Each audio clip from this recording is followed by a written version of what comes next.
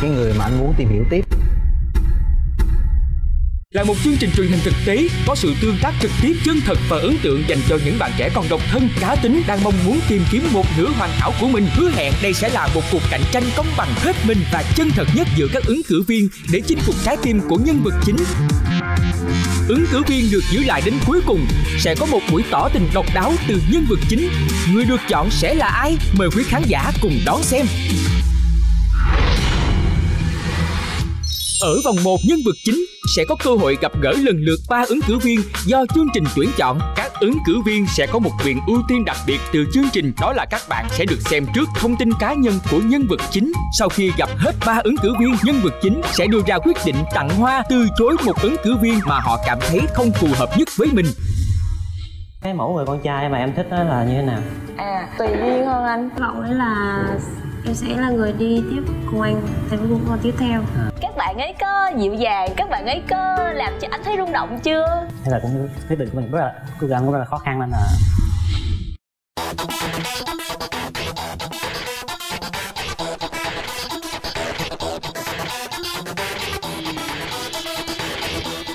Nhân vật chính của Yêu là chọn ngày hôm nay là Chu Phương Tùng, 27 tuổi. Tùng hiện đang sống cùng với gia đình tại thành phố Hồ Chí Minh và đang làm công việc kinh doanh tự do về các mặt hàng laptop, mỹ phẩm. Tùng vẫn chưa có mối tình nào sâu sắc và mong muốn tìm được người phù hợp để tiến đến hôn nhân khi tham gia chương trình. cái mẫu người bạn gái của mà mình tìm kiếm thì là một à, bạn có một mái tóc dài và tính cách thì dễ gần vui tính ngoan ngoãn lễ phép à, lý do vì ấy là một phần là chính là do công việc của mình nó nó, nó chiếm hết thời gian của mình và địa điểm gặp gỡ cô gái ứng cử viên đầu tiên đó chính là quán cà phê ô tô xưa nằm trên đường Lý Chính Thắng. Với phong cách cổ điển, nhẹ nhàng tạo nên một không gian hẹn hò lãng mạn.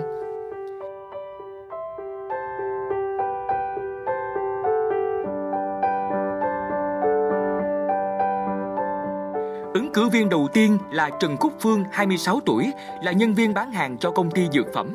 Phương là cô gái tình cảm, sống nội tâm, đôi lúc khá kỹ tính và cảm thấy tự tin về ngoại hình với gương mặt thu hút phái nam. à, Cái ấn tượng ban đầu khi mà em nhìn vào cái hình của anh chàng này á Thì là em ấn tượng Thứ nhất là em không biết sao có đặc biệt ấn tượng với những bạn nam mà đeo kính cận. Cái thứ hai là mắt của anh này hơi sâu Với lại có một cái à, cá tính, tính cách là vui vẻ, hòa đồng Và đôi lúc hơi khó tính lại giống em, giống y chang luôn. Nên em ấn tượng ở điểm đó cái thứ hai là bạn đó là con đầu lòng. Tại vì con đầu lòng và bạn đó có hai người em nữa hai người em cho nên là em nghĩ là ờ, bạn này có lẽ là khá biết quan tâm tới người khác. So với mẫu hình bạn trai của em thì anh chàng tùng này giống khoảng 80% phần trăm ạ.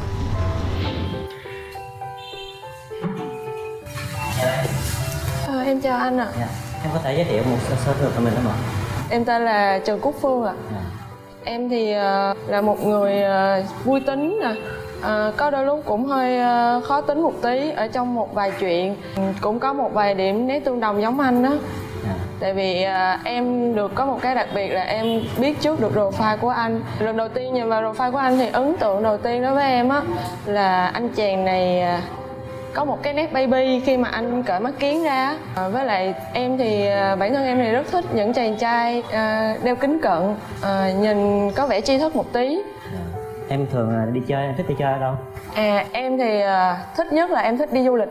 À. à, những nơi mà có ờ, không khí hoặc là không gian ờ, thoải mái ờ, trong xanh chẳng hạn như biển nè hoặc là núi thì em lại thích đi Đà Lạt. Cái mẫu người con trai mà em thích đó là như thế nào À, nếu mà nói mỗi người thì em thứ nhất là em lại thích là tùy duyên hơn anh, tức là ờ, gặp mặt lần đầu nè, à, nói chuyện à, cảm thấy hợp nhau, cảm thấy vui. Đó, còn ờ, về lâu dài thì cái đó là chuyện tương lai. Ờ, chiều cao hoặc là ngoại hình thì em không quan trọng lắm, tức là nhìn được là được rồi anh.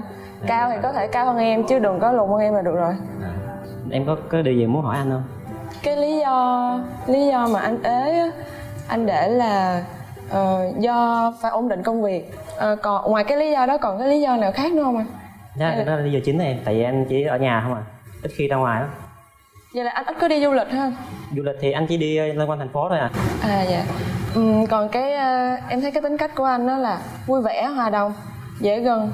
Nhưng mà anh ghi là có đôi khi là hơi khó tính là anh khó tính những việc gì anh à tùy tùy trường hợp á em nhưng mà nhưng mà khó tính thì lâu lâu mới có thôi chứ thường anh dễ tính lắm. Dạ. Nãy giờ em nói chuyện với anh á à, em thấy nó hơi khác một chút trong cái profile á. Anh nói là anh rất là vui tính anh em đọc cái profile em vui cảm tính thấy là khi nào mà quen lâu rồi á chứ anh mới ban đầu thì người, mọi người sẽ nghĩ anh là khó tính khó gần. Dạ. À, quan điểm của anh à, về cuộc sống hoặc là về cái mẫu bạn gái sau này của anh thì như thế nào? ạ mỗi bạn gái của anh thì chỉ cần là vui vẻ nè dễ hòa đồng nè ngoan ngoãn lễ phép là được rồi. À vậy anh không quan trọng lắm về ngoại hình đúng không ạ? Ngoại hình nói chung là tôi nhìn là được. Dạ. Ừ, tại vì em thì không có được đẹp đâu em ờ, cũng không có dễ nhìn đâu. Quan trọng là tính cách đó em. Dạ. Anh kinh doanh tự do tức là anh kinh doanh về mảng gì anh? Anh chạy quảng cáo facebook của em. À tức là thiên về online nhiều hơn ạ? Ờ đúng rồi anh online từ sáng đến tối á. dạ. Ngoài công việc đó ra anh có làm thêm việc gì nữa không không anh có đó có việc chính của anh luôn. Dạ. Vậy là thời gian của anh là dồn hết cho công việc dạ thời gian rảnh như thế nào ạ? Rảnh thì anh thích ngày nào anh chán anh nghỉ ngày đó. Dạ. Em thì cũng ờ, em thì đi làm á em là nhân viên bán hàng. À. Ờ, em thời gian làm việc của em là từ 2 giờ cho tới tối luôn. Nhưng mà cũng có kinh doanh online thêm. À. Không biết em bán mặt hàng gì nhỉ? À em là thiên về thực phẩm anh. À. ăn uống giảm cân nữa. Hôm nay em tới em có chuẩn bị cho anh một món quà. À, kèm theo là một tấm thiệp do tự tay em làm. Thì á quà thì anh có thể mở tại đây cũng được. Còn thiệp á em có thể ờ, xin anh là mở ra rồi anh ờ, cho em biết cái cảm nhận của mình. Rồi sau đó anh có thể đọc các lời ở trong cái tấm thiệp em viết được không ạ? Dạ rồi. Dạ em gửi cho anh ạ đúng như món quà mà em muốn làm cho anh đó là em sẽ muốn tự tay làm quà cho anh luôn. À. Nhưng mà do thời gian món quà này có. của em nha. Dạ tại vì em nhìn qua qua hình ảnh của anh á thì em nghĩ là cái cái con cái con gấu đó nó nhìn chắc cũng tựa tựa giống anh á không biết là có giống không nữa. ừ, dễ thương ạ. Anh mở thiệp chưa? Anh đọc rồi. Anh em đọc. cái này thôi em tự làm hả? Dạ em tự làm. Dạ để anh đọc nha dạ anh đọc đi ạ nếu khoảng cách giữa hai chúng ta là ngàn bước đi anh à. Hãy ở đó cầm hoa em sẽ lao đến như anh như một cơn gió. Nếu tình yêu chỉ cần một người thì em sẽ gửi em cho anh. Còn cái bên này là vạn người theo đuổi không bằng một người yêu thương. Vạn người luôn chiều không bằng một người thấu hiểu. À, cái này là điều em cần ở một người con trai à. dạ cái đó là trong ngôn á anh. Trong ngôn tình yêu của em. Cho anh hỏi là em tham gia chương trình này á, là em muốn trải nghiệm hay là em muốn tìm một người à, yêu đích thực luôn À, tại vì ờ, em nói thật với anh là tuổi của em cũng không còn nhỏ nữa. À, Em chỉ nhỏ hơn anh có một tuổi thôi Cho nên là em cũng trải qua được hai mối tình rồi. Khi em lên chương trình này á, là em không có ý định là muốn trải nghiệm Mà em thực sự là em muốn tìm một người bạn. À, nếu như trong quá trình tìm hiểu mà có thể thấu hiểu có thể chia sẻ san sẻ được với nhau thì ừ, mình có thể tiến tới lâu dài được. À. Còn anh thì thế nào anh cũng à, như vậy á. Như vậy là thế nào? Anh có thể cụ thể thêm một tí cho em anh biết là được cũng muốn kiếm một người yêu để có thể tiến tới lâu dài á hôn nhân á. À, dạ.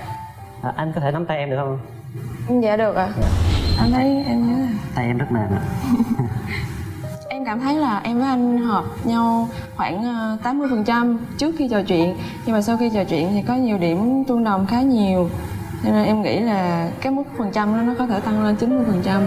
Thì em hy vọng là sau cái buổi trò chuyện này em em nghĩ là em sẽ được anh chọn. Dạ ờ, cảm ơn em. bây giờ em xin phép anh hát thêm một câu cuối. Cho Em hát đi. Trái tim em và dòng máu nóng để yêu anh. Giấc mơ ơi ở lại bên tôi đừng tan nhanh. Ngày mai thực giấc thay giữa lòng ngực là hình bóng ấy Nắm tay em đừng đem đi, đừng đem đi. Lỡ sinh ra là để yêu nhau chẳng rời xa đâu. Bình yên ở đây, ở đây chẳng đâu xa vời. Cho em gần anh thêm chút nữa. Cho em gần anh thêm cảm ơn em chút nữa qua cuộc trò chuyện vừa rồi mình thấy cô gái này rất là cô gái rất là dịu dàng ờ, chiều cao chắc cũng cao tương đối. Và ra thì tính cách của cô ấy thì cũng thấy rất hợp với mình là cô ấy thích đi du lịch mình cũng thích đi du lịch. Và điểm ờ, cô nổi bật của cô ấy là hát rất hay. Ngoài ra thì khi lúc nắm tay thì thấy tay cô ấy rất là mềm và ấm. Khi nhận được món quà của bạn nữ thì bạn thấy bạn nữ rất là tinh tế ờ, rất là chu đáo. Mình thấy mình và cô ấy thì có thể hợp với nhau khoảng ờ, 70 80 phần trăm. Cảm giác của mình hiện tại à, từ lúc bắt đầu chưa gặp bạn Tùng cho tới khi mà đã gặp được rồi thì nó vẫn còn cảm giác hồi hộp.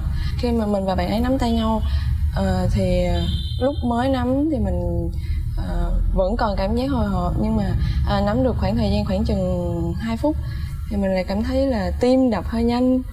À, không biết là cảm xúc đến có quá nhanh hay không nhưng mà đối với phụ nữ tụi mình á thì mình cảm thấy là có thể là mình đã mến bạn ấy ở mức độ là thích một chút Và địa điểm cho cuộc gặp gỡ thứ hai cũng là trong không gian yên tĩnh của quán cà phê ô tô xưa.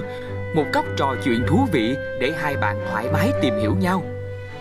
Ứng cử viên thứ hai là Phạm Thị Thi, 26 tuổi, nhân viên bán hàng tại siêu thị Imax. Thi là cô gái tự tin và có chút cá tính. Thi mong muốn tìm kiếm một người bạn trai vui vẻ, yêu động vật và sống có trách nhiệm. à, mình cảm thấy chàng trai này nói chung bề ngoài thì cũng được. Về tính cách đó thì à, vô tâm hơi vô tâm. Với lại là về gia đình thì à, là con đầu. Thì à, mình cảm thấy hơi hơi do dự hơi lo về cái việc là không biết là bà chàng trai này có gia trưởng hay không sinh năm 1990 mà chưa có một mối tình nào sâu sắc thì cũng hơi, hơi lạ. À, mình cảm thấy chàng trai này phù hợp với mình khoảng 6 khoảng 60 đến 70 phần trăm so với cái yêu cầu mà mình mình đưa ra.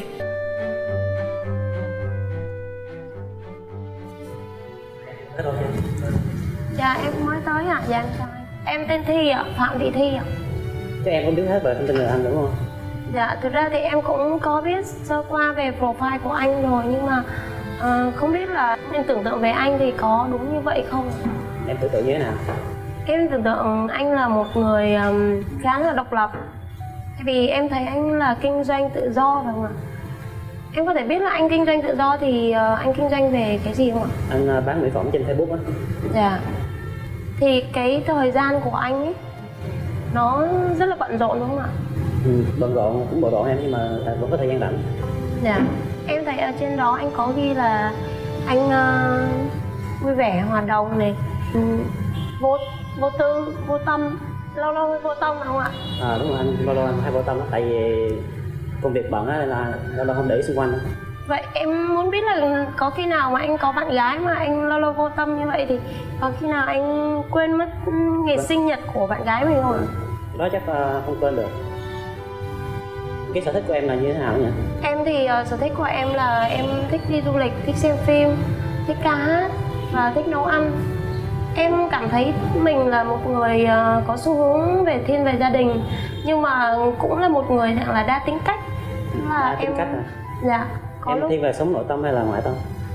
em thiên về nội tâm nhiều hơn tại vì em cảm tự cảm thấy mình á là nhiều khi um, em cũng thích đi chơi bời với bạn bè này à, thích đi du lịch đây đi đây đi đó. Nhưng mà vẫn thích um, những cái thiên về gia đình ví dụ như là em thích nấu ăn thích uh, mua sắm trang trí nhà cửa thích um, ở bên gia đình. Có những lúc buồn thì em thường em về với gia đình.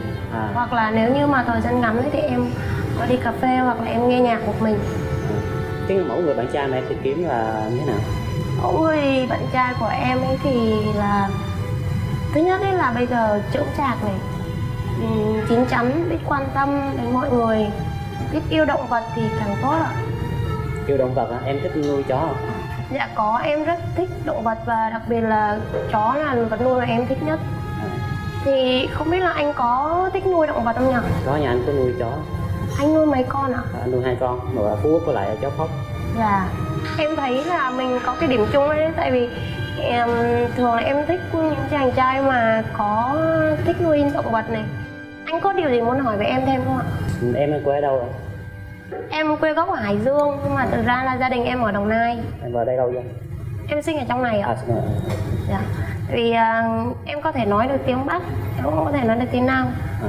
em thấy là anh à, anh thích một người con gái có tóc dài và có xu hướng truyền thống không ạ?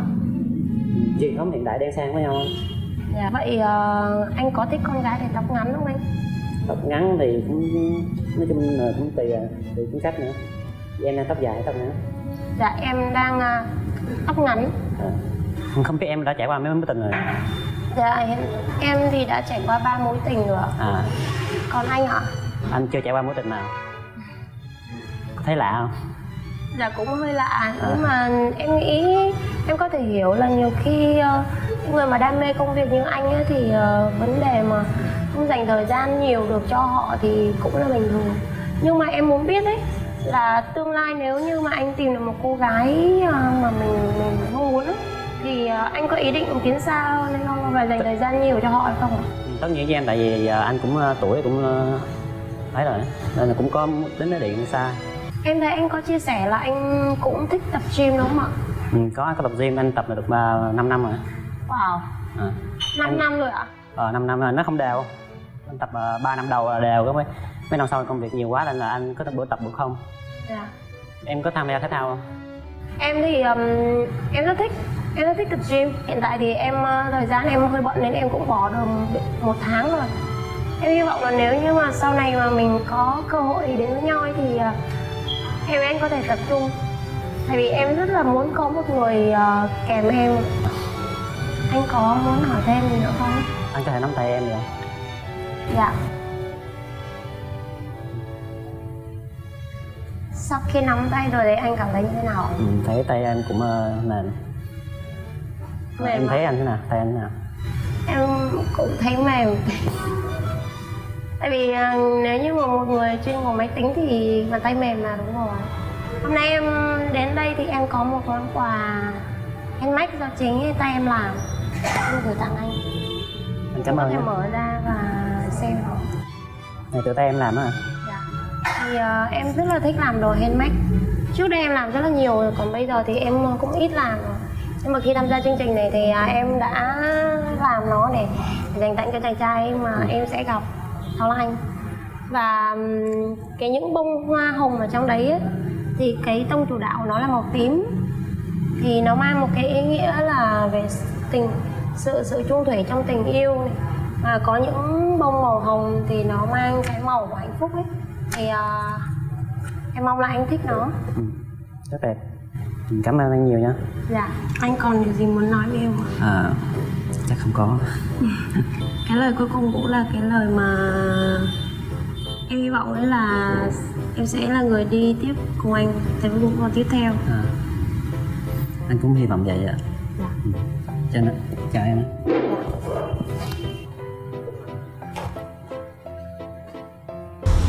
cảm khi gặp cô gái thứ hai thì không bớt hồi hộp đi rồi.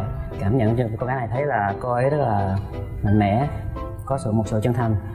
À, ngoài ra thì cô ấy cũng rất thích nuôi nuôi chó và mình cũng thích uh, giống mình thì mình cũng thích nuôi chó. Mình thì thích thường thích những cô gái có tóc dài nhưng mà nếu mà cô ấy tóc ngắn nhưng mà tính phù hợp với mình thì vẫn có thể tiến tới xa xa hơn được. Sau cuộc trò chuyện thứ hai thì mình thấy ờ, mình và cô ấy phù hợp với nhau được 70 phần trăm. So với cô gái thứ ờ, nhất thì mình thấy cô gái thứ hai thì có cá tính mạnh mẽ hơn. Hiện tại thì ờ, cảm xúc của mình cũng khá là hồi hộp và không biết là chàng trai sẽ chọn ai. Sau khi mà mình chia sẻ về việc là mình để tóc ngắn và mình biết là chàng trai thích những cô gái tóc dài thì mình cũng cảm thấy hơi lo lắng nhưng mà mình hy vọng là sau buổi trò chuyện thì mình à, để lại cái ấn tượng tốt mình tin là anh chàng trai này sẽ chọn mình vào vòng tiếp theo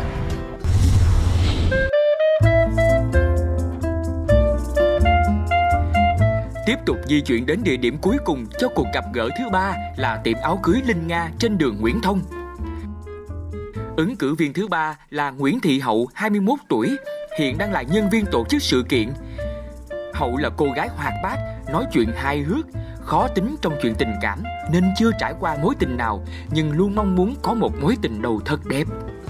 Cái tên là Chu Phương Tùng cái tên khá là đặc biệt à, nói chung là năng khiếu sở trường thì anh ấy cũng nói chuyện hài hước và thích ca hát và ghi là chỉ hát được karaoke thì thấy cũng mắc cười rồi. Em mong chờ là ổng không có vô tâm với em tại ổng ghi lâu lâu vô tâm nha. Vô tâm là em vô tâm lại luôn. Em nghĩ là anh ấy sẽ hợp với em khoảng ờ, bảy mươi phần trăm.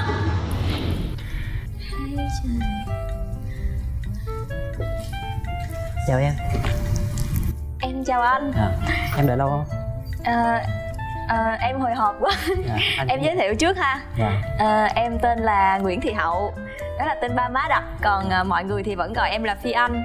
Em à, ừm, sinh năm 1996 còn anh thì sao? À, anh sinh năm 90 à em hỏi vậy thôi chứ em biết rồi. À, anh là chu phương tùng đúng không ạ? Đúng rồi. À, em rất là ấn tượng cái tên của anh. Ừm, anh có muốn hỏi em gì không? À, em có thể giới thiệu sơ về bản thân mình không? Ừ. Hiện tại thì em đang là nhân viên của một công ty tổ chức sự kiện tại thành phố Hồ Chí Minh. à, Còn anh thì sao? Ờ, em đã biết là anh là kinh doanh tự do nhưng mà không biết là anh kinh doanh về lĩnh vực gì. anh à, kinh doanh về mỹ phẩm em em Mỹ- em mỹ phẩm hả? facebook á À là kinh doanh online đúng không anh? đúng rồi đúng rồi Em cũng đang kinh doanh online luôn. À. Em bán quần áo. à, Vậy là có duyên rồi. dạ Ờ, em ờ, thấy là trong profile của anh có ghi là anh rất là thích xem phim. Em đã ngày dịch buổi tối hôm qua em đã đi ờ, mua một cái vé cho tuần sau để hai đứa mình nếu mà có dịp thì hai đứa mình có thể đi coi chung. Nhưng mà bên đó nói là người ta chỉ có bán vé trong tuần thôi không có qua tuần. Thành ra là em chưa có mua được cái cặp vé. Nhưng mà hy vọng là tuần sau hai đứa mình sẽ đi coi chung nếu có dịp. À, tất nhiên rồi. Anh thích uh, loại phim nào? Dạ? Anh thích coi những thể loại phim nào? Em hả em gì em cũng thích á nói chung là phim gì mà nghe review hay là em thích à? À, ngoài ngoài phim em còn sở thích nào nữa không? Em á hả? Em thích đi du lịch. À, gì giống anh? Hồi nãy giờ em có chuẩn bị cho anh bài hát nhưng mà à, giờ tự nhiên cái gặp anh cái rung quá quên lời rồi. À, anh biết bài hát ờ, rung động không cái này anh không không không nghe qua. Không không nghe hả? À, điều mà em muốn nói với anh đó là em mong là được nếu như mà chúng ta có dịp nếu mà anh cảm thấy ờ, hai chúng ta có nhiều điểm chung và muốn á, tìm hiểu nhau thì em mong là chúng ta có thể cùng sánh bước bên nhau. À, em thấy em em với anh cái điểm chung gì? Khi sau khi đọc profile của anh. Ừ, em thấy là anh là một người vui tính hòa đồng. Đôi tính. khi thì hơi khó tính cũng giống em. Ờ, và nói chung là ờ, profile đó thì ờ, em cảm thấy là chúng ta trên giấy tờ thì đã hợp tới khoảng ờ, 60% rồi đó. À. Dạ. Anh thấy làm sao? Anh nghĩ sao? Cái này anh anh cũng chưa nghĩ ra nhưng mà nhưng mà sao? Em thấy anh nói chuyện khá, khá là nhanh có phải là anh đang run không? À, anh cũng không rung lắm nhưng mà anh không run lắm là có nghĩa là anh có anh run nhanh đúng là không? do cái tính cách anh anh thấy nói nhanh. Em định nói là nếu mà anh run quá thì chúng ta có thể nắm tay nhau để em giúp anh đỡ run. Anh có muốn không? À, ok tay em rất là nhỏ à. dạ đúng rồi. Ừm, anh có thích ờ, phụ nữ ừm, của gia đình không? Ví dụ như là ờ, tại vì em thấy là anh sinh năm 90 rồi thì em nghĩ là bây giờ đến với một mối quan hệ thì anh cũng muốn một sự lâu dài và một cái sự gọi là ờ, cố định đúng không? À, tất nhiên rồi em anh giờ anh cũng cần một sự ổn định đó vậy hả? À, Ờ, bản thân em á thì không có biết nấu ăn. Đó là cái nhược điểm mà tệ nhất của em và em đang cố gắng khắc phục bằng cách là đang nấu cố gắng nấu những cái món mà đơn giản rồi. Ờ, chia sẻ về kinh nghiệm tình trường thì em thấy anh ghi là chưa có mối tình nào sâu sắc. À, đúng rồi. Chỉ là bề nổi thôi chứ chưa có chìm xuống. Về nổi rồi chứ chưa chìm xuống hả? À, đúng rồi. Còn bản thân em á thì chưa có một một một mối tình nào bắt vai luôn á. Tại vì ờ, quê em thì ở lâm đồng. À, Em xuống Sài Gòn này thì được khoảng 2 năm rồi. Thì khi xuống đây thì ờ, cũng công việc rồi học tập này kia Cho nên cũng chưa có thời gian và cơ hội tìm hiểu một bạn nam nào hết? À, thấy em nói chuyện như vậy mà chưa có quen ai thì cũng hơi lạ. À, à, Em bị bệnh khó ở trong người nữa Cho nên là chắc mấy bạn nam khi nói chuyện một thời gian Xong rồi chán em quá Cái xong rồi không tìm hiểu em nữa. Em hy vọng anh không vậy. Anh có phải là người kiên nhẫn không? có em anh kiên nhẫn lắm tại vì anh thường thường tiếp, tiếp xúc với khách hàng mà. Khách hàng thì à, nhiều người thì mỗi người mỗi tính một khác á nên là phải chiều người ta hết Hy vọng em sẽ là một khách hàng khó tính Mà anh phải chinh phục. Hy vọng là như vậy. Vậy em có tin vào tình yêu xét đánh không? Em hồi giờ chưa có bị xét đánh em không biết làm sao nữa. Có điện giật không? Trời ơi, giờ em mong bị xét đánh quá trời. Giờ muốn gặp anh liền luôn vậy đó. Anh sao anh có muốn gặp em không? À đúng rồi, nãy giờ anh đã gặp hai cô gái rồi. Thì không biết là các bạn ấy có dịu dàng, các bạn ấy có làm cho anh thấy rung động chưa? Cái này anh vẫn đang suy nghĩ. Anh đang suy nghĩ hả? Nói chung là em cũng là cô gái cuối cùng của ngày hôm nay rồi. Và ngày hôm nay á thì em đến cái không gian này em thấy rất là thích. Anh biết làm sao không? Ừ, tại sao? Em em bật mí đi. À, vậy thì em nói luôn ha. À, đó là khi mà các cặp đôi mà họ yêu nhau thì em nghĩ là cái điều mà quan trọng nhất và cái uh, nơi mà cuối cùng uh, họ sẽ tìm đến để trước khi họ về một nhà với nhau thì sẽ là một không gian như thế này đúng không anh? Đúng rồi. Thì uh, bản thân em thì tuy là không có lớn tuổi lắm nhưng mà khi mà em xác định quen một người thì em cũng nghĩ là mình nên quen một cách nghiêm túc một cách lâu dài. Cho nên là em rất là thích cái không gian này bởi vì nếu mà có cơ hội nếu mà chúng ta tìm hiểu nhau và anh cũng cảm thấy là uh, muốn tìm hiểu em thì uh, chúng ta có thể đến đây một lần thứ hai vào uh, hai hoặc ba năm nữa chẳng hạn. Anh có nghĩ như vậy không? Cũng có nghĩ như vậy. Anh cũng có nghĩ như vậy ừ. hả? Bây giờ chỉ được thì chỉ hy vọng là muốn gặp anh liền thôi.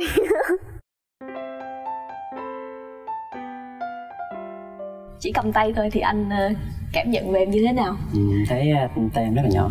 Thế là cái ấn tượng nhất anh. Dạ hôm nay thì em là cô gái cuối cùng mà anh gặp rồi. À, em không nghĩ đó là một thiệt thòi. Mà em nghĩ uh, đó là một điều may mắn. À. bởi vì uh, à, ngay lúc này em sẽ gặp anh trước lúc mà anh phải chia tay một cô gái. Thì dù thế nào đi nữa thì em vẫn tôn trọng quyết định của anh và nhưng mà thật sự thì em vẫn rất là muốn à, chúng ta có cơ hội tìm hiểu nhau. Anh hả? Dạ dạ cho cho dạ. Em có thể ôm anh không? Có. Dạ. À, cảm ơn ạ. Dạ. À, bye bye anh. À, bye. Hẹn gặp lại. Qua cuộc gặp cuối cùng này mình thấy uh, đây là cô gái ấn tượng. Vì cô ấy điều ấn tượng nhất của mình với cô ấy là rất là năng động. Mình và bạn nữ thì thấy rất là nhiều điểm hợp nhau. Như là bạn ấy rất là độc lập tự đi làm uh, xa nhà. Mình nghĩ cô gái này rất là năng động nên là ngoại hình rất là hiện đại mình tưởng tượng là cô gái này là có vóc vóc hình nhỏ nhắn à, rất năng động. So với hai cô gái trước mình gặp thì cô gái này mang lại cho mình ờ, rất là ấn tượng vì cái tính năng động của cô ấy. Và tự tự tin trên băng nói. Mình thì mỗi bạn gái của mình thì mình rất là như vậy. Về độ phù hợp với bạn gái này thì mình nghĩ là được ờ, chín mươi phần trăm. Mình cảm thấy anh Tùng uh, hơi rung một chút.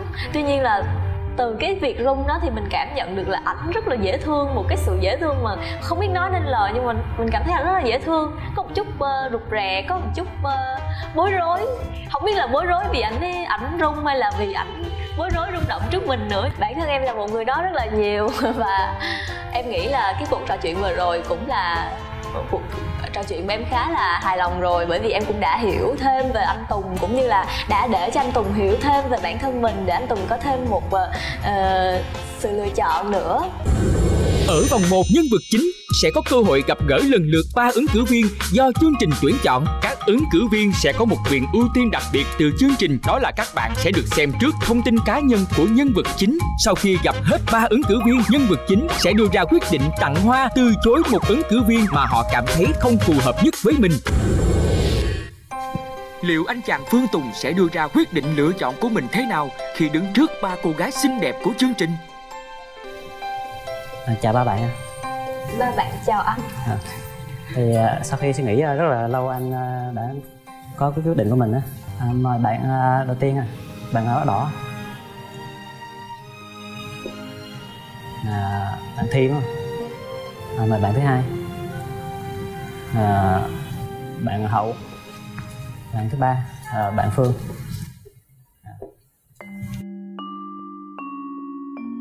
Sau khi uh, suy nghĩ là mình uh, thế là cũng quyết định của mình rất là, cố gắng cũng rất là khó khăn nên là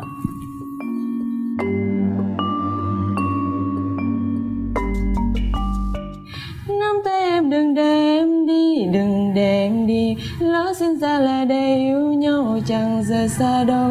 Bình yên ở đây ở đây chẳng đâu xa vời.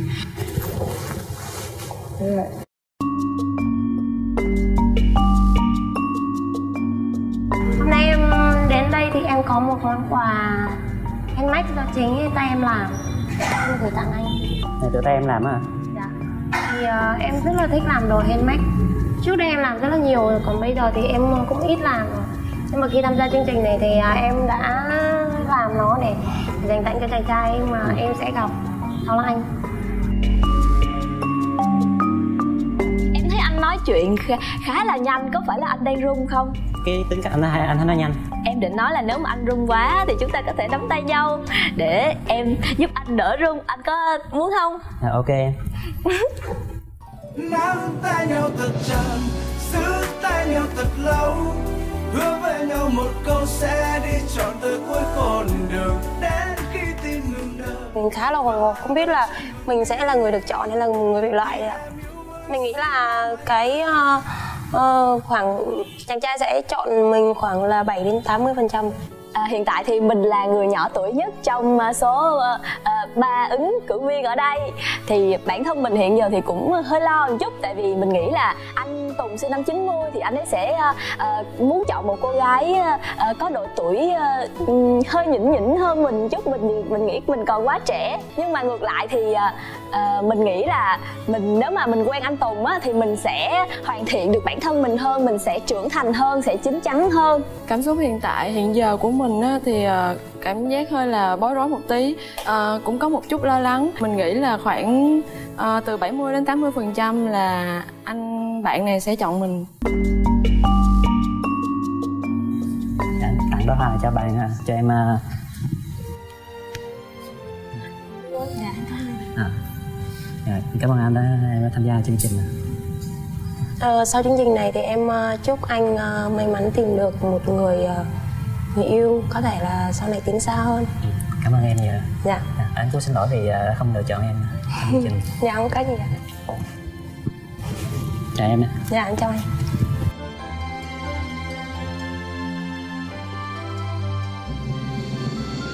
sau khi suy nghĩ rất là nhiều thì mình phải đưa ra quyết định uh, cô gái mà mình thấy không hợp đó là thi. Tại vì mình uh, cái hình mẫu lý tưởng của con gái của mình đó là có tóc dài mà bạn ấy tóc ngắn lên và tính cách bạn cũng hơi mạnh mẽ quá nên là chắc mình nghĩ mình sẽ phải từ chối cô thi. À, hy, hy vọng thì uh, anh từ chối em thì không em đừng có buồn và hy vọng mình vẫn có thể tiếp tục là bạn của nhau. Sau khi mà mình nhận một cái à, đóa hoa từ chối từ chàng trai này thì à, mình hơi mình cảm thấy hơi buồn một xíu nhưng mà Ờ, thực ra thì không sao. Sau chương trình này thì mình có thêm ờ, hai người bạn và một người anh. Mình nghĩ cái uh, khả năng mà anh chàng chọn mình không cao. Bởi vì uh, mình cảm thấy uh, chắc chắn là cái cá tính của mình khá là mạnh hơn so với hai cô kia. Uh, hai cô gái kia thì uh, khá là xinh đẹp và dễ thương. Dù sao thì mình vẫn cảm thấy tự tin về cái cá tính của mình. Có lẽ là mình không phù hợp với chàng trai này nhưng mà uh, biết đâu được uh, mình sẽ phù hợp với nhiều chàng trai khác hơn. Phương Tùng sẽ cùng hai cô gái dễ thương là Phương và Hậu tiếp tục trải nghiệm những hoạt động thú vị của chương trình để tìm hiểu nhau nhiều hơn.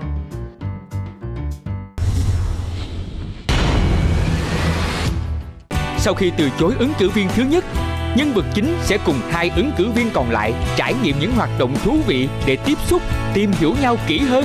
Cuộc cạnh tranh để chiếm được trái tim của nhân vật chính sẽ thế nào đây?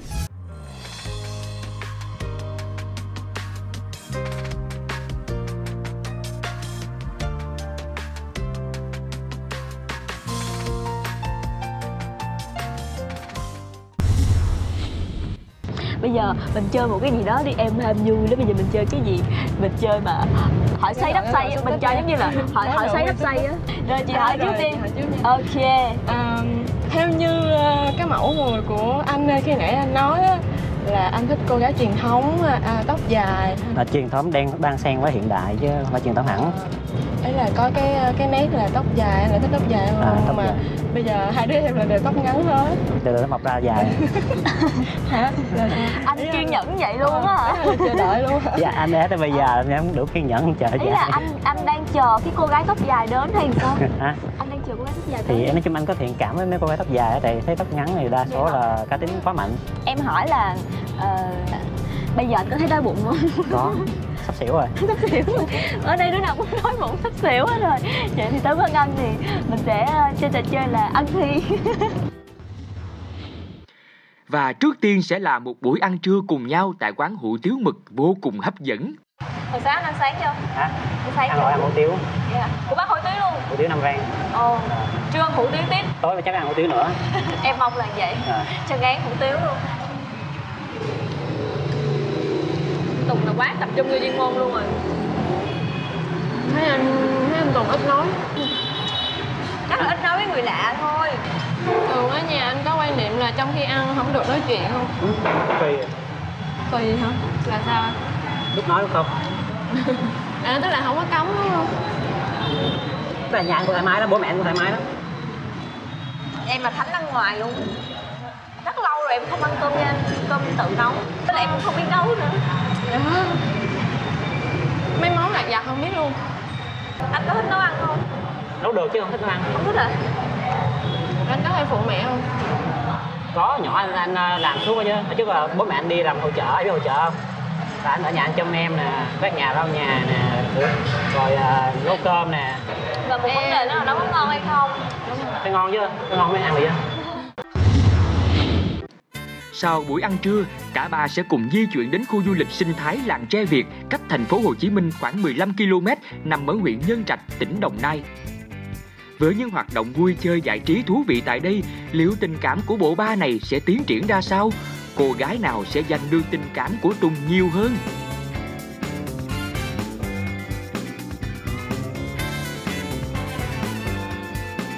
Chị Phương thì cũng rất là dễ thương điều mà em nghĩ là em có thể học tập ở chị Phương ờ, trong ừ, tình yêu cũng như là trong cuộc sống đó là sự chững chạc và ờ, một sự chu đáo Và để khởi động cho những hoạt động tiếp theo, đầu tiên sẽ là trò chơi chèo thuyền thúng.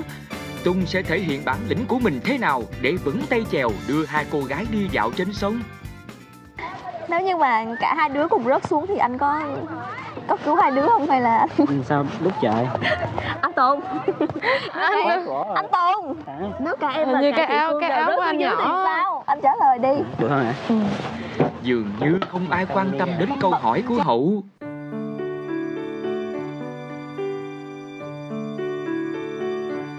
Và sẽ có một cuộc trò chuyện riêng để xác nhận tình cảm của mình.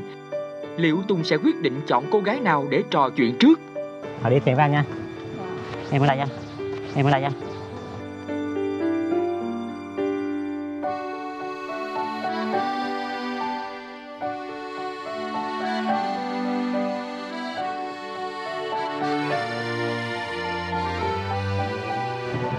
mà mình chọn để tiếp tục ờ, ờ, chương trình chiều nay á, thì mình thấy là đều ờ, dễ thương. Để lựa chọn hai bạn đó thì cũng rất là khó khăn. Hy vọng sẽ có được những kỷ niệm đáng nhớ và sẽ được chọn được ờ, những người phù hợp nhất với mình để tiếp tục ờ, tìm hiểu sâu hơn.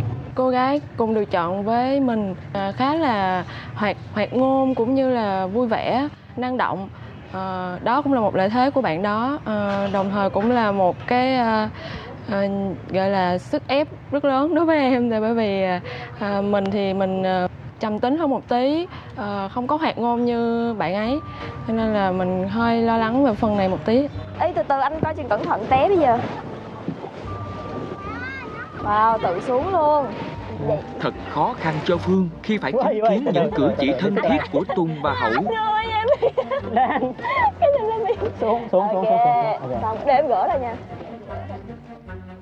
Anh. Hử? Anh thấy chị Phương làm sao? không được. Anh đừng có trả lời không không như vậy Anh phải Hử? trả lời Anh phải trả lời cho có chính kiến chứ. Chị Phương chu đáo lắm á.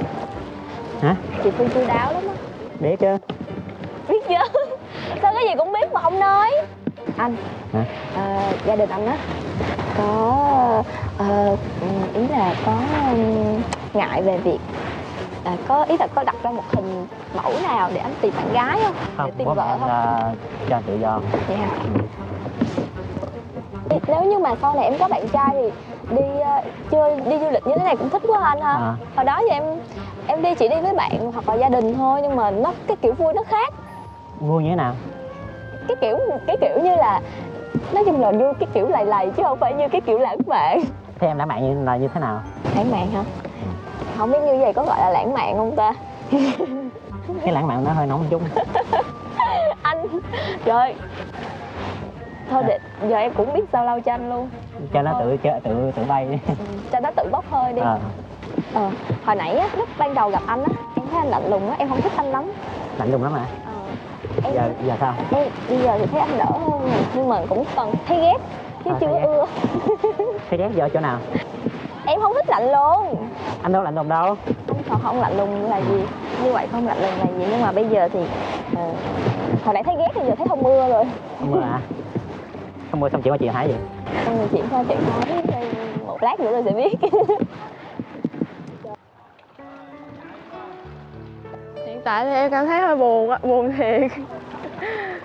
Um, cảm xúc bây giờ nó hơi hỗn độn một tí à, nếu mà nói thật cảm giác uh, khi mà em thấy cặp đôi đó đang chơi với nhau thì lúc cảm giác đầu là hơi hụt hẫng một tí. Có thể là là là hai người đó hợp hợp nhau ở cái tính cách là hơi uh, hơi tin một tí.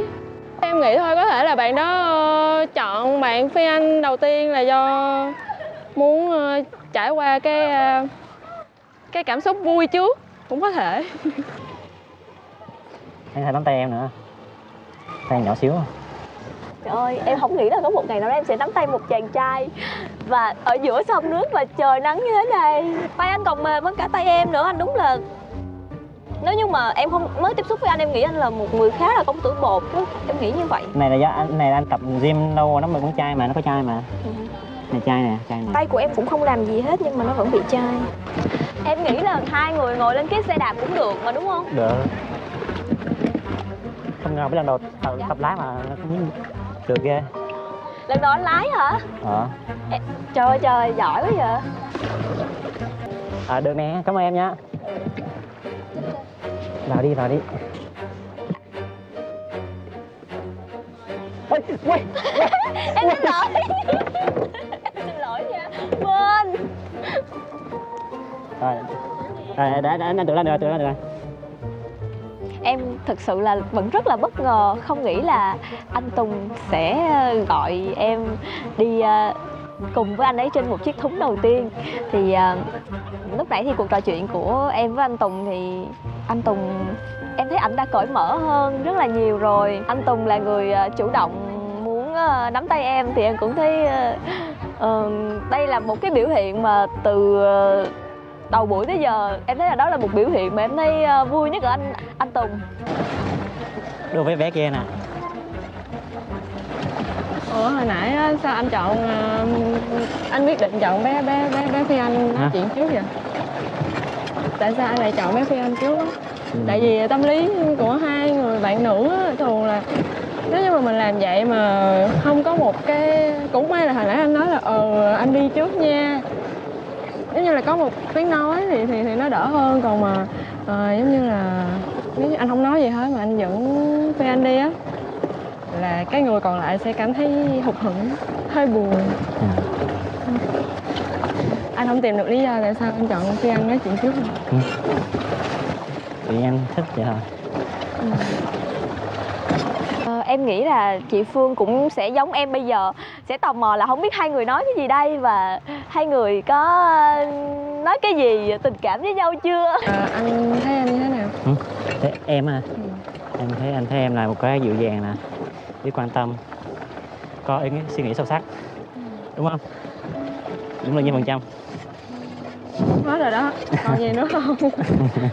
Còn gì thì uh, đang làm gian dở chưa nghiên cứu hết chưa nghiên cứu hết là vậy anh có muốn nghiên cứu tiếp không? À. hay là sau chương trình này nó muốn nghiên cứu tiếp không? Hay là sao? Sau chương trình này á? Ừ. tất nhiên nhá. Em thấy anh ít nói hết trời luôn không muốn hỏi gì hết hả ai? Anh anh gì ít nói hả? Ý là anh không có hỏi tụi em nhiều á không có muốn khai thác thông tin gì nhiều hết hả? À, anh cũng biết hỏi gì thật sự là vậy à, khi mà phương à, nói với mình là ít quan tâm các bạn nữ thì thấy thì đúng là như vậy, thật. Do công việc với lại do cũng tính cách mình nó cũng vậy, nhưng mà chắc từ từ thay đổi sẽ được tại vì anh muốn tìm một mối mối mối tình nghiêm túc là anh phải hỏi Bé, chứ. hỏi là à, theo anh là mối tình thì ý là mình tìm hiểu nhau từ từ đâu có phải hỏi dồn dập cả một một ngày là thành yêu nhau được đâu anh thấy đúng không? Đúng nhưng mà ví dụ như bây giờ xong rồi nè anh phải lựa chọn một trong hai bạn thì anh phải hỏi chứ phải hỏi kỹ là anh mới lựa chọn được chứ. À. Đúng không? Cảm xúc hiện tại của mình khi được uh, gặp riêng với bạn Tùng là có thể thấu hiểu bạn Tùng hơn được uh, khoảng 90 90 phần trăm. À, những cái điều mà em thắc mắc về bạn cũng như là em muốn hỏi bạn thì bạn đều có thể uh, trò chuyện um, mở lòng được với em nhiều hơn. Em cảm thấy uh, mãn nguyện rồi. Sau cuộc nói chuyện riêng ngày hôm nay thì em nghĩ là chắc là anh Tùng có thiện cảm với em hơn hơi tự tin. Từ uh, cuộc gặp hồi sáng đến bây giờ là hoạt động ngoại khóa thì mình thấy là thân thiết hơn với hai bạn nữ và cũng có cảm cảm tình với hai với uh, các bạn. Vẫn còn đang là suy nghĩ đó là đang suy nghĩ với hai bạn. Đẹp quá Sẽ có một thử thách nhỏ dành cho hai cô gái để kiểm tra mức độ khéo léo bằng việc học cách cuốn bò bía. con chào hai cô. Chào hai Dạ, chào cô. Hôm nay là cô như là hai cô có cái món à, bò bía để à, thử cho hai à, hai cháu xem là thử tài hai cháu làm xem có khéo léo không. dạ Thì là bây giờ cô hướng dẫn à, đầu tiên cho các cháu làm nhé. dạ hồi giờ chỉ được ăn thôi chứ chưa có được tự tay làm giờ được nhìn thấy giờ- các nguyên liệu luôn Cái này đầu tiên là bỏ bánh tráng này.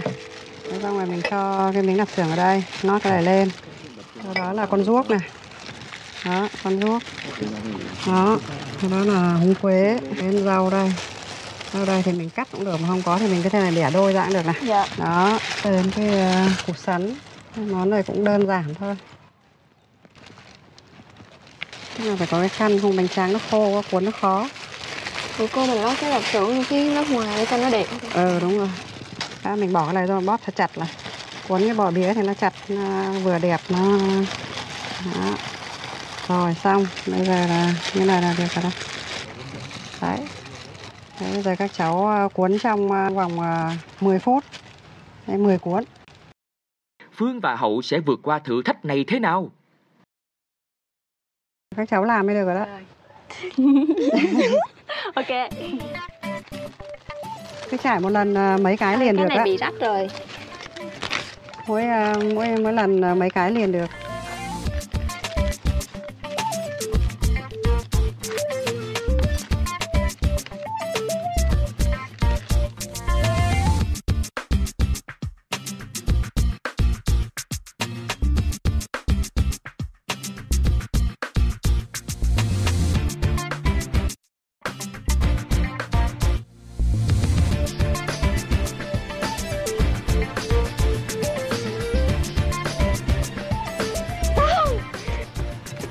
Quá kìa nó giống anh đó.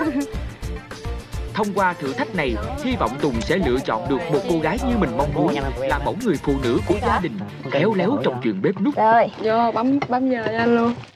Cái khăn hơi khô. Để ờ, nước ờ, ướt hết tí nữa thì cuốn hay hơn, đẹp hơn.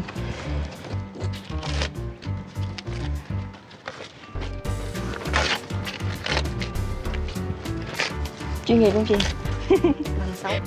Bỏ lạp xưởng trước hay nó đẹp hơn.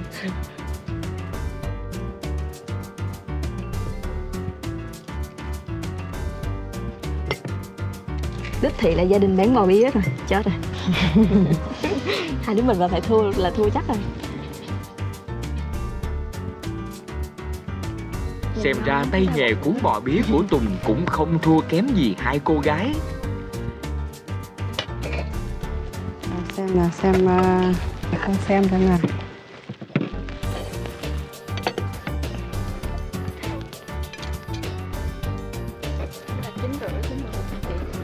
này nói chung là hai bạn làm đều như nhau hết.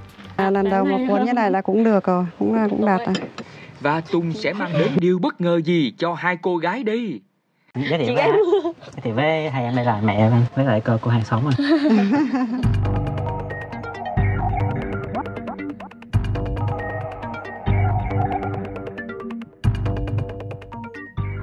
cháu thì nói chung là nó cũng đến tuổi à, đến tuổi được à, thành lập gia đình được rồi. Thế gia đình cũng mong muốn là cháu nó tham gia chương trình. Nếu mà cái duyên à, cháu nó đến thì càng tốt. Và cho cháu nó học hỏi thêm, cho nó biết nhiều cái kinh nghiệm hơn. Cháu thì ở nhà thì về công việc làm ăn thì nói chung là cháu làm tốt. Được, giao tiếp thì cũng được. Nhưng mà nói với bạn gái thì hầu như là cháu nhát gái không có nói chuyện, nó không có lưu loát, không có được. Tham ra là nhà muốn cho cháu tham gia để cho nó dặn dĩ thêm. Tùng thì ờ, tính tình rất là hiền lành nhưng mà có tính là hơi nhát thôi. Ví dụ ờ, làm công việc á thì làm rất là giỏi nhanh nhẹn. Nhưng mà riêng á, khi mà gặp bạn gái á, thì Tùng rất là nhát. Không không biết bắt đầu với bạn gái từ đâu để mà ví dụ như là để kết bạn với bạn gái.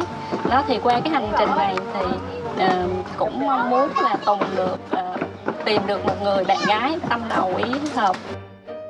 Những chia sẻ của mẹ và cô của Tùng đã phần nào giải thích được lý do vì sao anh chàng này hơi ngại ngùng và ít nói khi tìm hiểu bạn gái. để con nhớ lại coi con có nói gì.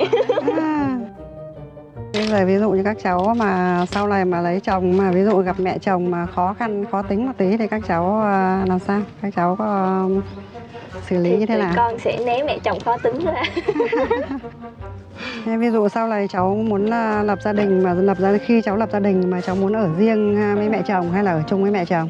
ừ, ừ, con chưa có bao giờ nghĩ tới cái vấn đề đó hết á nhưng mà bản thân con nếu như mà ừ, con ở chung với mẹ chồng thì con sẽ cố gắng đảm đang hơn tại vì mẹ chồng nào cũng thích một con dâu đảm đang đúng không Đúng, cô cũng đúng. vậy đúng không Đúng thế, đúng cái điều đó là tất Dạ. nhiên. rồi. ôi trời bất ngờ quá trời Cô hỏi à, ừ, hơi hơi bất ngờ dạ À, gặp một người chồng mà ví dụ như là ít nói chẳng hạn hay là đấy thì các cháu à, làm sao các cháu ý như là các cháu muốn à, một người chồng tương lai của các cháu là như thế nào? Mẫu người á mẫu À. người. Cô ơi ít nói quá thì mình uh, hoạt bát mình nói nhiều lên tí mình chọc cho cười. Anh Tùng khéo tay hơn con nghĩ rất là nhiều. Ảnh ở nhà anh cũng khéo tay như vậy hả cô? Nhà thì cũng có nấu nướng nhưng mà cũng ít thôi.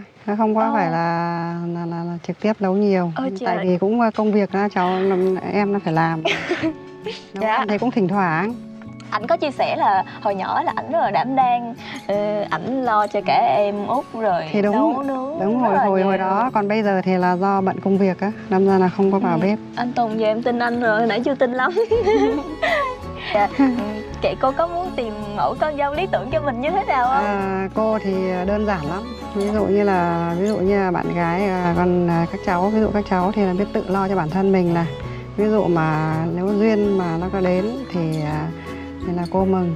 Mà về sau này ví dụ mà có được mê mê nhau thì là về thì à, hòa hợp với gia đình. Ví dụ như cô thì rất đơn giản về dễ tính cô rất dễ tính. Các bất ngờ quá con bất ngờ quá con bất ngờ Thế thì hôm nay gặp cô ở đây thì cũng chúc cô hay cô sức khỏe ha. Rồi, Ừ. Nếu mà con là bạn của anh Tùng hay là cả chị Phương nữa thì ờ, con với cô với lại con với hai cô cũng có thể gặp nhau. Đúng rồi. Dạ. Cô thì cũng chỉ chúc là các cháu thì là sức khỏe tốt à, công việc làm ăn à, đạt nhiều may mắn thế thôi. Dạ em cảm ơn cô. Và À, cảm ơn cô Hương, cảm ơn mẹ. À, khi mình giới thiệu ờ, là hai người hai người hướng dẫn là mẹ mình thì thấy hai bạn cũng rất là bất ngờ. Ừ, theo mình nghĩ thì mẹ mình chắc ờ, chấm điểm bạn ờ, Hậu nhiều hơn. Tại bạn Hậu là bạn nói ăn nói hoạt bát hơn. Còn bạn bạn Phương thì hơi trầm tính một tí. tại vì là trực tiếp thì mình cũng chỉ có tiếp xúc mới có một ít thôi Thành ra là nói chung là tính cách thì à, hai bé thì nó cũng tương đương nhau Thành ra là cái này mình thì muốn là bây giờ ví dụ gia đình thì à, mình cũng dễ lắm đơn giản. Bây giờ mình muốn là cái duyên của các cháu thôi. Bây giờ ví dụ Tùng nó chọn lựa được nó nó chấp nhận bạn nào thì mình cũng chịu thôi. Nó như thế nếu mà duyên được thì là tốt. Trời tự nhiên chị bị khớp chị bị khớp. Em bất Em- ngờ. em ừ. không nghĩ là chương trình lại Em- chu đáo như ừ. vậy. Hai cô gái vẫn còn chưa Trời hết bất ngờ với sự xuất hiện của mẹ và cô của Tùng. thấy mẹ anh Tùng có khó tính không không không không không. Cổ khá là em nghĩ là một người mẹ khá là tâm lý đó. Không chị chị cảm nhận của chị nha chị thấy cổ y chang như mẹ chị luôn. Cảm giác của mình à, rất là vui tại vì em ờ, bản thân của mình thì rất là thích à, nấu nướng thích tìm tòi nhất là cái món khi nãy là món bò bía là cái món mà mình chưa bao giờ mình thử làm thử cái món đó hoặc là mình chưa biết cái nguyên liệu đó như thế nào hết. À, nhân đây cũng cảm ơn à, Ờ, bác gái là mẹ của anh Tùng. Ờ, đã đem cái món đó tới với chương trình và đã ờ, tư vấn cũng như là chỉ chỉ dạy tận tình cho mình cũng như là bạn nữ. Hai bạn nữ có thể đảm đang hơn tí, có thể biết thêm được nhiều món mới. Tiếp tục lại là một sự bất ngờ nữa mà chương trình mang đến. Hôm nay thì thật sự là đây cũng là lần đầu tiên mà em làm cái món bò bía đó luôn. Hồi giờ chỉ có ăn thôi à giờ mới được làm. Thì thấy cũng rất là thú vị tự nhiên bây giờ nhờ chương trình mà em lại có hứng thú với cái việc mà nữ công gia chánh đảm đang như vậy và cũng cảm ơn mẹ anh Tùng rất là nhiều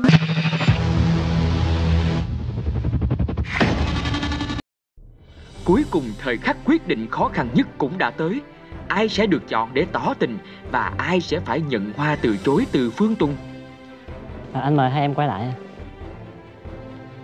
À, Sau cái cuộc hành trình ngày hôm nay á, từ lúc ờ, gặp mặt á, đến ờ, bây giờ ờ, thì mình hai, hai đứa mình á, à, ba đứa mình trải qua cũng ờ, nhiều trải nghiệm mà à, thì anh thấy là ai cũng có cái nét riêng của mình á. À, Phương thì à, rất là dịu dàng nè sâu sắc và biết quan tâm người khác. Còn à, Hậu thì rất là nhí nhảnh à, nhí nhảnh năng động. Hiện tại là sắp đến giờ phút quyết định cuối cùng của anh Tùng thì mình nghĩ là đối với cơ hội mà anh Tùng trao cho mình á thì mình nghĩ khoảng tầm từ 80 đến 90 phần trăm anh Tùng sẽ chọn mình. Ờ, khi mà ngày hôm nay có sự xuất hiện của mẹ anh Tùng thì em nghĩ là anh Tùng muốn ờ, tìm được một cô gái và đi đến hôn nhân. Thì em nghĩ là tính cách cũng như là cái độ tuổi của chị Phương sẽ phù hợp hơn em. Em nghĩ là có thể là mẹ và anh Tùng sẽ chọn chị Phương. À, anh thật sự là suy nghĩ rất là lâu á rất là khó khăn luôn. À, mới có ra được quyết định cuối cùng của mình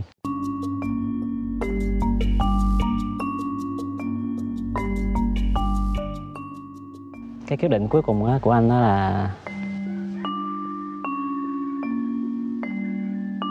Mình nghĩ là cái sau cái chương trình này thì um, bạn uh, nữ tên Phương có lẽ là người sẽ đi tiếp cùng anh Tùng. Vì mình cảm thấy là bạn Phương có một cái uh, cái tính cách bạn ấy uh, hiền, bạn ấy um, chững chạc, bạn ấy trầm hơn có lẽ là phù hợp với anh Tùng nhiều hơn. mình cảm nhận là Tùng sẽ hợp với cái cô sinh năm 96 hơn tại vì là cô sinh năm sinh năm 96 tính tình rất là hoạt bát à, năng nổ. Còn trong khi thì Tùng thì là người trầm tính ít nói. Thì hai người um, vì hai cái tính cách đối nghịch như vậy thì sẽ bổ sung cho nhau. Cái quyết định cuối cùng của anh đó là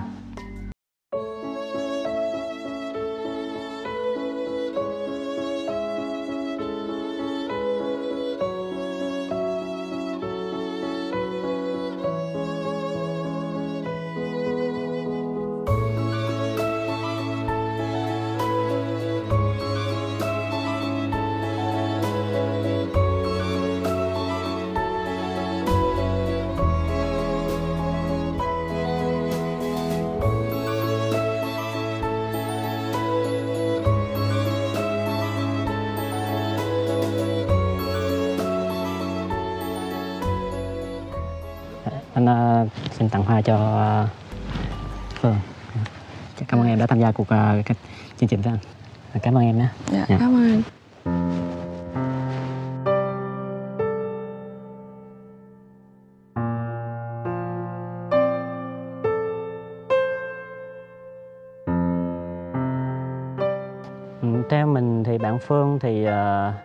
Nó là bạn Phương cũng là một, kiểu một kiểu ờ, nhiều người trai thích là một kiểu truyền thống và lo chăm lo gia đình rất là quan tâm người khác.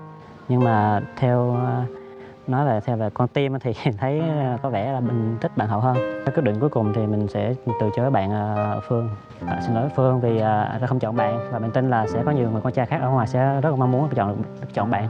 Cảm giác hiện tại của mình thì mình không có bất ngờ, không có uh, ngạc nhiên gì lắm. Bởi vì ngay từ lúc đầu ờ, là mình đã dự đoán là khi mà đã được nói chuyện với anh Tùng xong thì mình đã dự đoán là cơ hội dành cho hai người là ngang nhau 50 50 Ờ, còn lại là tùy vào cảm xúc của anh Tùng như thế nào.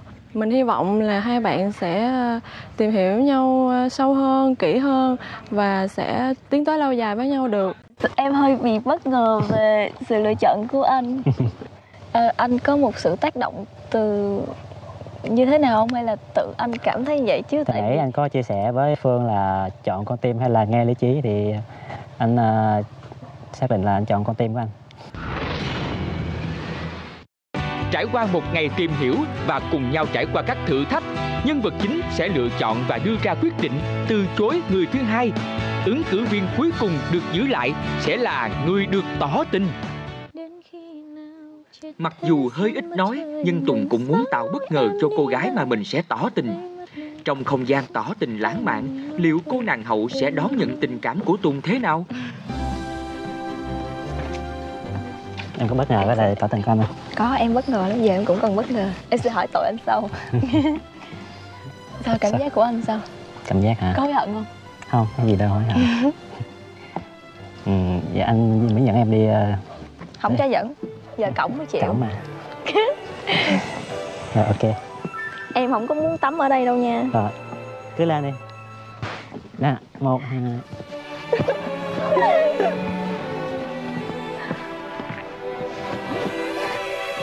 giờ em, em nặng chưa? Nặng. Hả? Nặng. Hồi nãy nói em nhiêu ký nãy là 35 chắc giờ cộng thêm năm. Em nhỏ bé quá rồi ok. Rồi ok anh. Wow Đây là à, đây là món quà mà anh à, chuẩn bị trước chương trình để tặng cho người anh yêu á. À, hy vọng anh sẽ nhận à, tấm lòng của anh để à, để mình có thể tiếp tục à, tìm hiểu nhau sa, sâu hơn và sau chương trình. Cảm ơn anh. À, Em thích nó lắm. Ừ. Cảm ơn anh. Anh có thể ôm em không ôm em không Chúng ta sẽ tìm hiểu nhau nhiều à, hơn. à, cảm Anh có muốn em tặng cho một bài hát không? có em hát đi. Là vì em hạnh phúc khi có anh bên cạnh em. Một nụ hôn thật khẽ lên đôi mắt em mỗi khi buồn. Những điều em thầm sâu trong trái tim đã lâu thật lâu.